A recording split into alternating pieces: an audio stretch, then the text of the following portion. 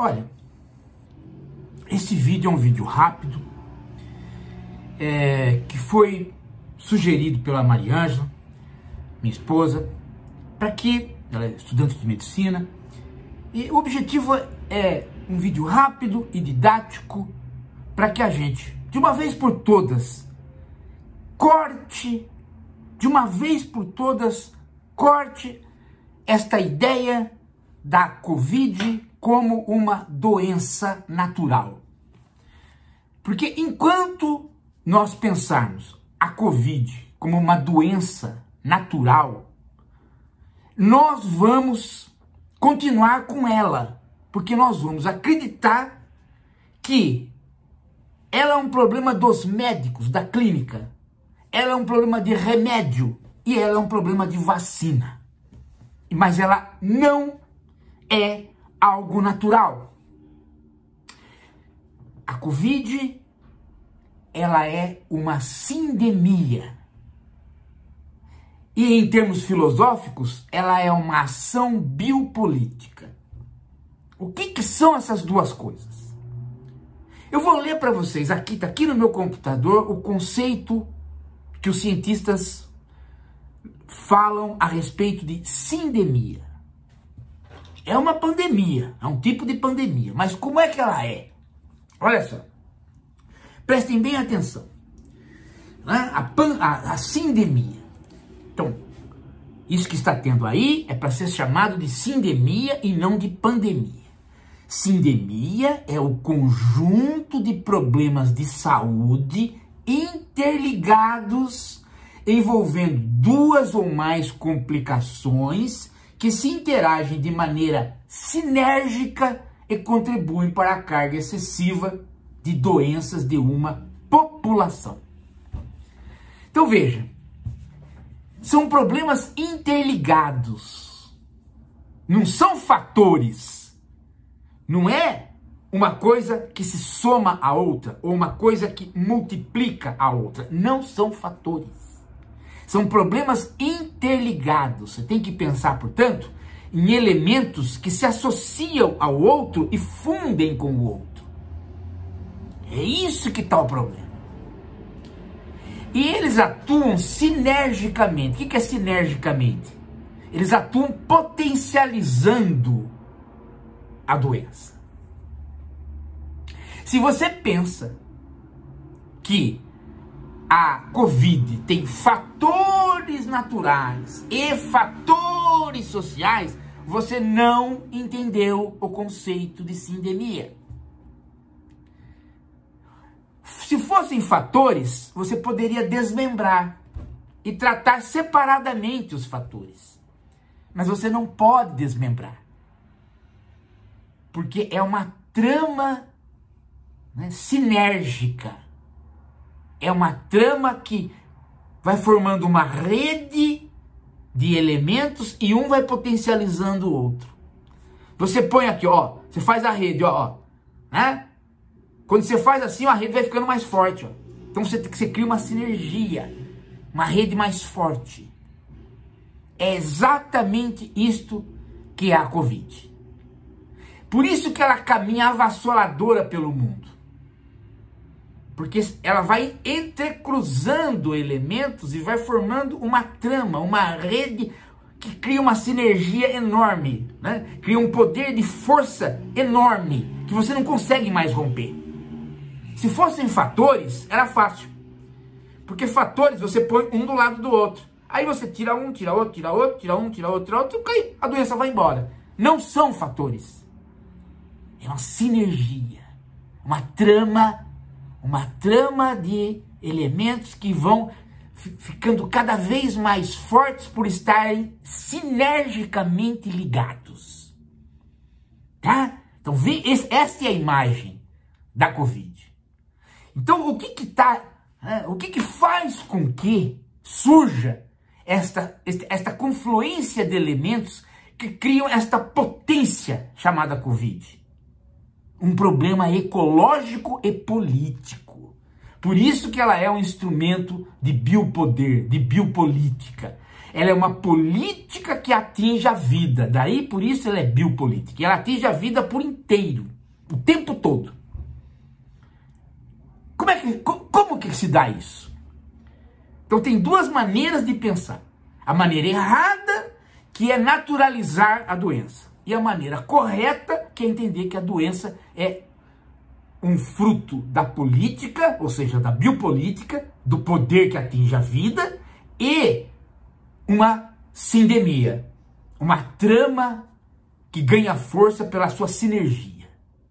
Então vamos lá. Vamos pela maneira errada de pensar. A maneira errada de pensar né, é você chegar lá e saber, tanto pelo certo quanto pelo errado, que a questão é a relação entre o homem e o morcego em Wuhan, uma cidade chinesa, uma cidade chinesa que tem esses problemas. Bem, então, morcego encontrou com o homem. Oh, que ótimo! Então, o morcego é um ser natural, né? o homem é um ser natural e cultural.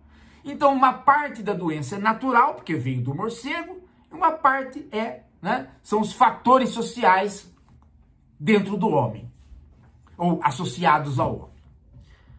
Não. Nada disso. As, isto não é, não tem a ver. Porque se fosse assim, tudo seria fácil. Onde estão os morcegos? Estão ali. Onde estão os homens? Estão aqui. Pronto. Acabou. Separa os homens dos morcegos, dá um fim nesses morcegos e resolveu o problema, não tem mais nada. Não funciona dessa maneira. Ou seja, a questão não é o homem e o morcego.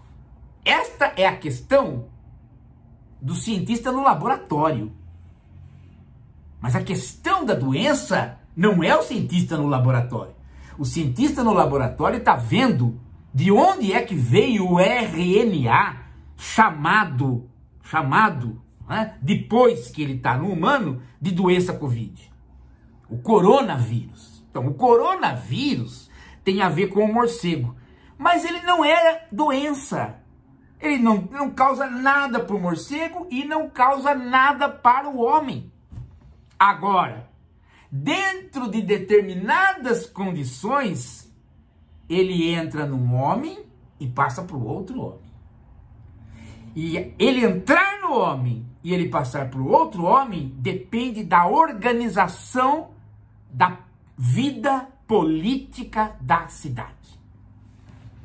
Por isso que não há doença, senão a vida política da cidade ser uma vida que está avançando ecologicamente pela floresta. E a floresta não tem mais para onde ir, então ela se integra à cidade ela se deteriora como floresta e o homem se deteriora como homem. E quando você vê, a floresta e o homem estão fundidos numa cidade que não é nem floresta, obviamente, mas também não é mais o local do homem. É uma confusão, né? uma promiscuidade de vida. E a feira de Wuhan a feira de Wuhan é exatamente esta imagem. Se a gente chega lá, come animal selvagem, deixa o animal selvagem ali morto, o outro vai lá com um pedaço, frita, né? E o morcego na cidade, o homem na cidade, as condições de higiene cada vez piores, duas populações que deveriam estar separadas estão vivendo junto, homens e morcegos, e nenhum mais sabe de quem que é a cidade, se ela é do homem ou do morcego. Elas, eles simplesmente estão fundidos na cidade. Chega uma hora que você nem pode mais tirar o morcego. Porque se você tirar o morcego, o morcego provavelmente já se adaptou à cidade, de modo que na ecologia da cidade ele come insetos que se ele não comer, prejudicam o homem. Então ele já está no seu habitat. Ele não é estranho. E se tirar o homem da cidade e deixar só o morcego, muito provavelmente o morcego também não vai gostar. Por quê? Porque o homem traz outras coisas que não só o inseto para o morcego. Inclusive traz a casa, traz a proteção. Então você veja que o quê? Que você tem uma, uma, uma cidade organizada com populações que não eram as suas populações. essa cidade, esta cidade, gera uma coisa chamada Covid, que não é que não é o coronavírus, já é a doença. E como é que é o contágio? O contágio também depende das relações políticas da cidade. Depende do comportamento da cidade. Se a cidade é uma cidade espaçosa, o contágio é menor. Se a cidade é espaçosa, mas ela tem lugares que são estreitos, naqueles lugares estreitos, o contato é maior. Se a cidade tem um comportamento de se cuidar com máscara por conta de outras doenças, a população já está educada, então o contato é menor. Se a cidade ainda não tem esse know-how, a população não está educada, então o contato é maior. Se a cidade tem uma prefeitura que pode fazer lockdown, dando dinheiro para ficar em casa, a cidade se protege mais. Se a cidade não tem uma prefeitura voltada para a vida humana e não dá o dinheiro e força o lockdown sem o dinheiro, a cidade se protege menos. E se a cidade né, não sabe separar, separar as coisas e entender que no capitalismo há ricos e pobres, ela vai querer tratar os bairros ricos e os bairros pobres com as mesmas medidas. E também aí ela vai errar. E assim sucessivamente. Você viu, você viu como é que é? Viu? Né? Não são fatores. Um enrosca no outro e potencializa uma rede. E quando isso está, então, potencializado sinergicamente, todos esses elementos, aí você tem o quê? Você tem o avanço da rede. A rede vai crescendo, vai ficando mais forte, crescendo, crescendo, crescendo, e ela vai abocanhando outras cidades parecidas com esta ou em condições até mais propícias até esta doença chegar na concepção dos governantes.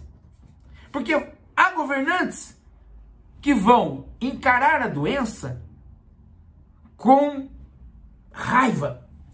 E há governantes que vão encarar a doença como uma oportunidade. Então, aqueles governantes que encararem com raiva vão tentar arrebentar a rede.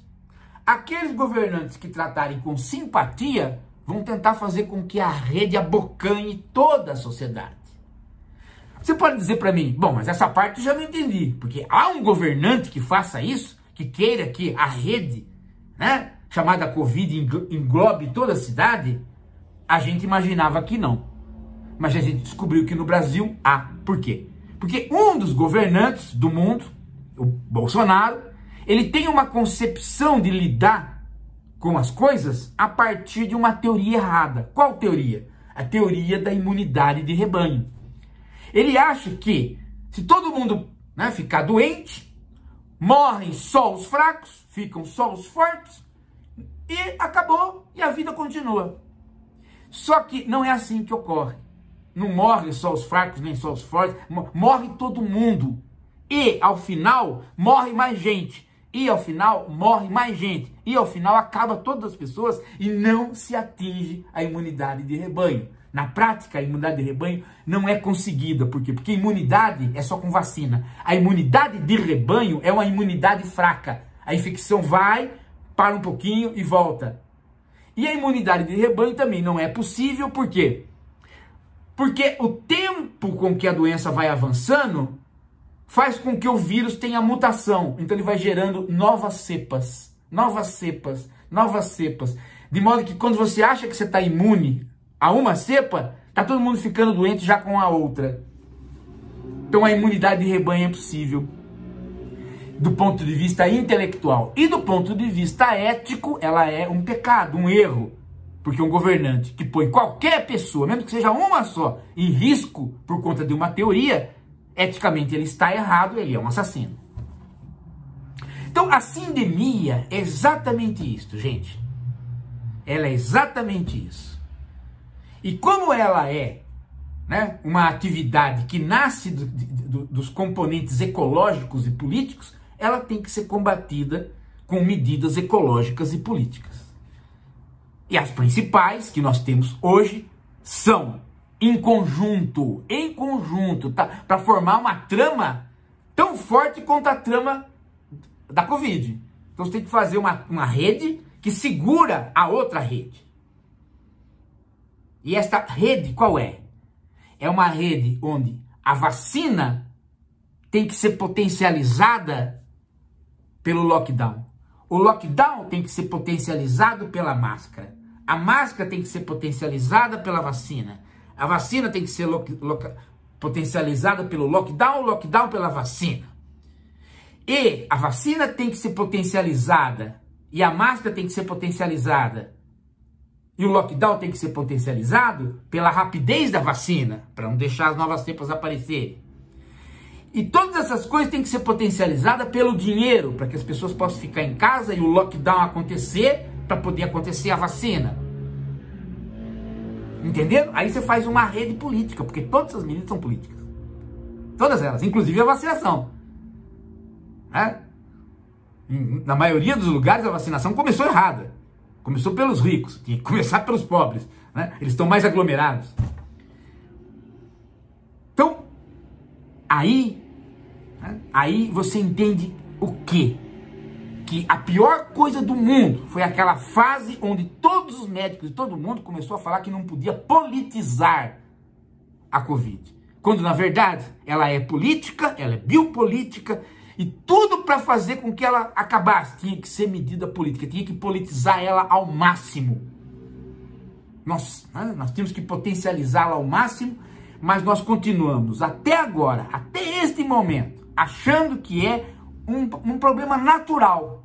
E por isso a gente não consegue entender a culpa do Bolsonaro. Mas o único culpado da Covid estar entre nós é o Bolsonaro, porque todas as medidas que nós tínhamos que tomar eram políticas, portanto veriam dele, e ele tomou todas erradas. Todas elas favoreceram a Covid. Porque ele é o bolso vírus. Ele comprou a ideia do vírus. Ele se adaptou ao vírus. Ele faz a apologia do vírus. Ele diz para todo mundo isto, claramente: todo mundo vai morrer um dia. E todo mundo vai pegar essa doença. E uns vão se salvar e outros não. Acabou. É sempre o que ele fala. Então ele virou um agente do vírus. Ele virou um agente da Covid. Ele virou a doença. Se vocês entenderem isso, vocês vão entender que as novas cepas vão proliferar, a vacinação está devagar, o povo não está educado para lidar com a doença, o governo não dá o dinheiro e, portanto, nós podemos ficar 5, 6, 7 anos com isto. Sim. Então nós temos que reverter esse processo, dando um tiro no, no meio da rede, para que ela abra de uma vez. E, as, e, e o elemento que está fazendo com que todos os elos da rede estejam fortalecidos sinergicamente é o próprio Bolsonaro. Ele tem que ser eliminado. O tiro tem que ser na cabeça dele. E o tiro, em política, se chama impeachment. É isso. Saído da presidência, todas as ações políticas podem ser tomadas normalmente como nos outros países. E eu garanto para você, gente, em pouquíssimos dias, as mortes caem pela metade e a experiência foi feita em três cidades onde deu resultado exatamente como se previa: Araraquara, Ribeirão, São José do Rio Preto. Em Ribeirão, prefeito Edinho, do PT, fez um lockdown e fez todas as outras medidas que eu apontei aqui, e fez isso fortalecendo a fortalecendo a trama da rede que ia ser jogada contra a outra rede.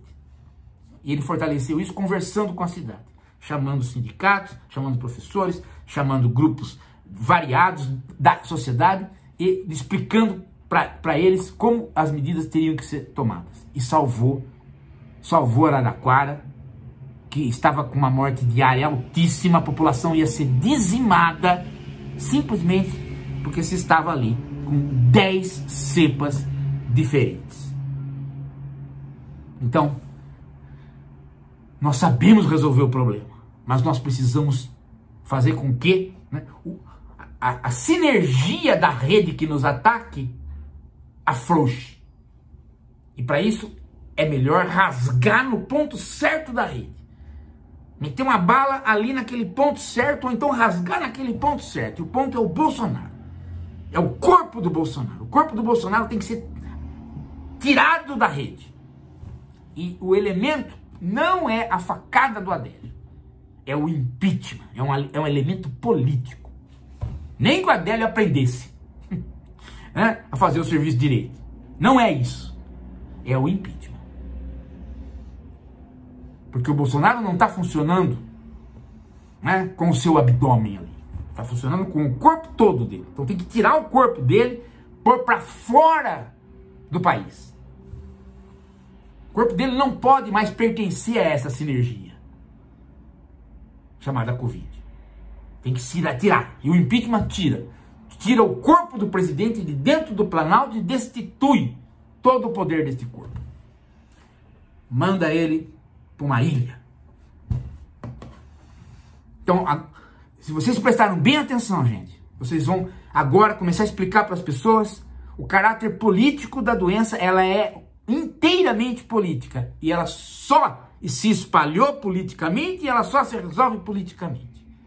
Nela não é problema de médico, ela não é problema de enfermeiro, ela não é problema de hospital, ela não é nem mesmo problema de se aplicar vacina somente. Ela é uma biopolítica. É uma política que atinge o bio, a vida, ela pega toda a vida. Para que a gente pare de morrer. E pior, não é só morrer. Tem a morte e tem uma situação dolorida. O que qual? Um terço das pessoas que não morrem e passam pela Covid, como o Bolsonaro vangloria que pode ocorrer, ficam com sequelas. Cegueira está aparecendo. Incapacidade de trabalho. Cérebro danificado está aparecendo direto de pessoas que não conseguem concentrar mais. Você quer ficar assim? Você quer ficar desse jeito? Você quer morrer ou ficar com sequela? Então, fica lá aplaudindo o Bolsonaro. Agora, se você participar do impeachment, se você fizer vídeos para este canal, mandar aqui, se você mandar carta para os deputados, se você entrar nas redes dos deputados e começar a gritar, se você identificar os, quem, foi, quem foi as pessoas que fizeram os pedidos de impeachment e escrever para eles, para eles forçarem no STF, que o STF force o pedido deles na Câmara, aí nós vamos derrubar o Bolsonaro, porque esse movimento vai estar sendo feito junto com a CPI. E nós vamos nos salvar. Caso contrário, nós não vamos nos salvar. Nós vamos perder os nossos entes queridos e o que sobrar de nós vai ser tão insensível que não vai poder ser chamado mais de Brasil. É isso. Daqui a pouco a gente volta.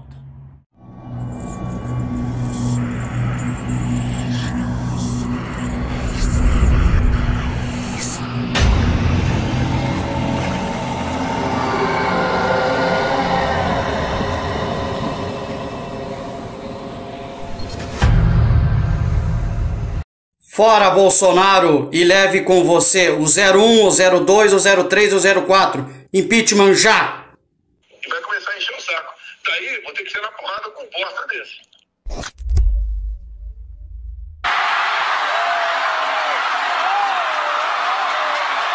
Impeachment, impeachment do Bolsonaro agora, ou não teremos mais país. Estamos cansados dos irmãos metralhas Bananinha, Rachadinha e Carluxinha. Vamos tirar você da presidência, seu desgraçado.